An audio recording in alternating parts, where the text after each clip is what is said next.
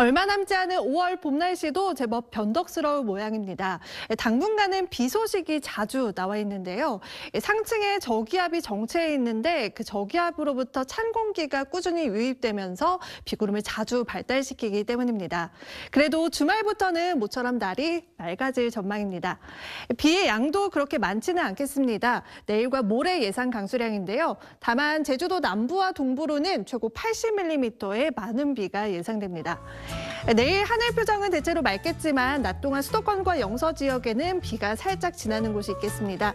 낮 기온은 서울이 24도로 오늘보다는 5도가량이 높겠습니다.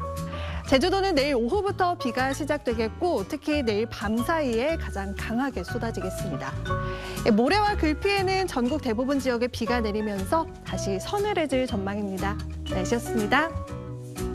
네, 안녕하십니까. 김현우입니다. 더 많은 뉴스와 라이브 이벤트를 보고 싶으시면 화면 오른쪽을 눌러서 구독해 보시길 바라겠습니다. 또 저희 SBS 앱을 다운로드 하시면 속보 알림도 받아 보실 수 있습니다. 항상 저희 SBS 뉴스를 시청해 주셔서 대단히 고맙습니다.